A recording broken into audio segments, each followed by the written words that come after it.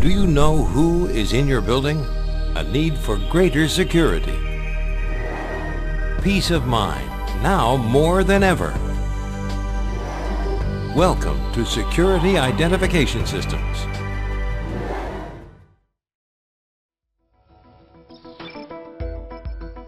Hello, I'm Anthony Zagami, President of Security Identification Systems. A lot just happened when I walked into this room that you might have missed. My ID was scanned, my photograph was verified, and I was scanned for weapons in an instant. That's what we're all about, providing security with appropriate technologies for speed and convenience. Our systems are fast, reliable, and are proving themselves in real-world situations every day. Coming up, cutting-edge technology like this to prevent attacks from psychopaths like this. How it might save the lives of America's children. Next. We'll take a look at this technology. My next guest developed it to keep people safe and maybe help prevent future tragedies at our schools. Joining us now, Anthony Zagami. He is CEO and founder of Security Identification Systems. Anthony, to a technophobe like me, very briefly describe how this system works. Well, for a visitor, we swipe their driver's license, take their photograph, we'll check a watch list, and if they're clean and there's no problems, they would be issued a pass. If there is a problem, the watch list would then notify the individuals and then they would stop that access. The technology uh, works in concert with uh, various other systems so that if you take, uh, we also produced a student ID card. Mm. So if an, an ID card was produced, it also works with the locking systems in the dormitories and other buildings on campus. So this also works in concert with a, with a camera system so that you have surveillance. Mm. So if this was essentially the camera system would uh, signal areas that would mm -hmm. uh, we would know that the people are in. We could then shortcut that by controlling the door locks as well as providing a positive ID through the identity well, management. Tonight, a local security company believes some of the deaths in Virginia could have been prevented. We've seen the video over and over again, and following the Virginia Tech shooting, the big question being asked is why wasn't the school locked down after the first shooting in the dorm room left two people dead? It's very difficult to stop a student from that first incident, from that first crisis. Uh, it's, you're playing in their sandbox. Two hours later, 30 more were killed in a classroom building across campus. Jonathan Fox specializes in security systems with the SISCO company in West Palm Beach. Clearly, in hindsight, they thought the first shooting uh, was an isolated incident. Uh, it wasn't. When it comes to security, surveillance cameras are usually considered step number one.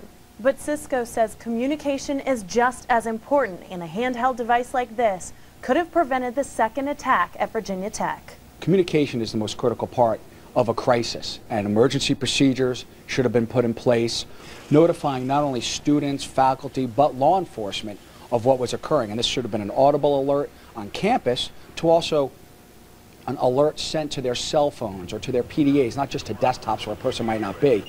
SISCO says metal detectors at every entrance of a college campus aren't realistic. Stop, exit left. Stop, exit left. But there are reasonable ways to feel safe and not in fear of reliving another tragedy.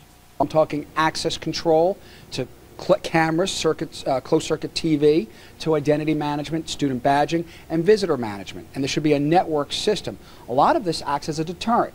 You can keep the damage to a minimum by having emergency procedures in place and communication, once again, is the most critical part of a crisis. SISCO says heightened concerns over security are incident driven and following yesterday's shooting at Virginia Tech, they've received several phone calls from local college campuses. Live in West Palm Beach, Danielle Dubats, News Channel 5. It's 5 o'clock.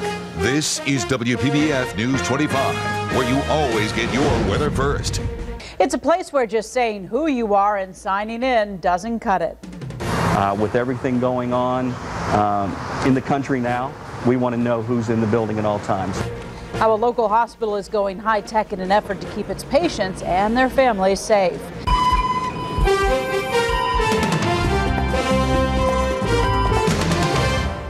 From keeping babies in to keeping sexual predators out, a local hospital is making sure anyone who walks through their doors stays safe. Bonnie Ghosh was there to take an exclusive sneak peek inside the upgraded security efforts at JFK Medical Center. You have a driver license? 4214. Okay. Can you step back in front of the camera? In most hospitals, getting in to see your loved one isn't this complicated. I gotta give my driver license. They take a picture of me. They give me a sticker no for sure that I'm the right guy to go inside the, the hospital. Came in, they had to be screened, driver's license, photo ID, and then you get a badge. At JFK Medical Center, just saying who you are and signing in doesn't cut it. You could write anything you want. I could write Mickey Mouse. The hospital's new high-tech FastPass security system, though, is a little different than Disney's. The, the whole system takes two or three minutes, really. It's a swipe of the driver's license and the, then the picture, and you're gone. It actually imprints a uh, photo and puts the information of the visitor into a database so we can track those visitors. And why would the hospital want to gather all that information about you? Like anybody, we want to know who is in our building. Uh, with everything going on um, in the country now, we want to know who's in the building at all times. Especially if it's a person who shouldn't be there. Predators or people with bad intentions like to be anonymous, and FastPass gives them an identity. They can cross-check criminal, sexual predator, as well as internal watch lists. But swiping your driver's license and taking your picture isn't the only way that the security team is keeping tabs of you here at the JFK Medical Center. They also have over 100 cameras located inside and outside the hospital. So we can view and see everywhere in the stairwells, all the floors. But wouldn't all this monitoring seem a bit intrusive? So it doesn't bother you at all? No. How come? I come here because it's very secure. You worried about them knowing every speeding ticket you've ever gotten or anything like that? It doesn't matter to me, no. As long as I'm safe, I'm fine. Bonnie Ghosh, WPBF News At our 22,000 square foot facility in West Palm Beach, Florida, we are developing the future of physical security and access control systems. Our goal is to create systems that are user-friendly, fast, and as unobtrusive as possible. Whether you're trying to control access to your offices, no matter how large or small, or keeping track of hundreds of passengers and crew on a major ship, even securing an entire seaport, Security Identification Systems Corporation can tailor a specific solution to meet your needs.